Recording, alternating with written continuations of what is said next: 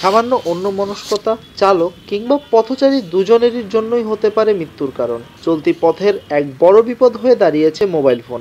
বর্তমানে সড়কগুলোতে পথচারী এবং চালকদের মোবাইল ও হেডফোন ব্যবহারে সতর্কতা অবলম্বন করতে দেখা যায় না। মোবাইল ফোনে কথা বলতে বলতে রাস্তায় চলাচল ও রাস্তা পারাপার এখন ফ্যাশনে পরিণত হয়েছে। এমনকি হেডফোন কানে দিয়ে অথবা মোবাইলের দিকে তাকিয়ে অনেককে ব্যস্ত রাস্তায় চলাফেরা করতে দেখা যায়। পথে চলার সময় হেডফোন মোবাইল ফোন যেন ব্যবহার না করে। এই হেডফোন মোবাইল ফোন ব্যবহার করার কারণে অহরহ দুর্ঘটনা ঘটছে।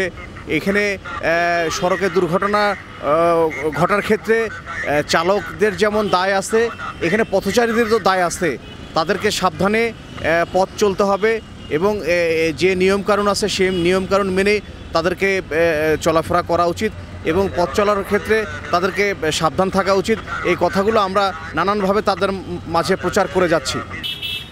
মোটরসাইকেল চালকদের মোবাইল ফোনে আলাপরত অবস্থায় কাত হয়ে বা মাথা ঝুঁকিয়ে অমনোযোগী হয়ে চলাচল করতেও দেখা যায়।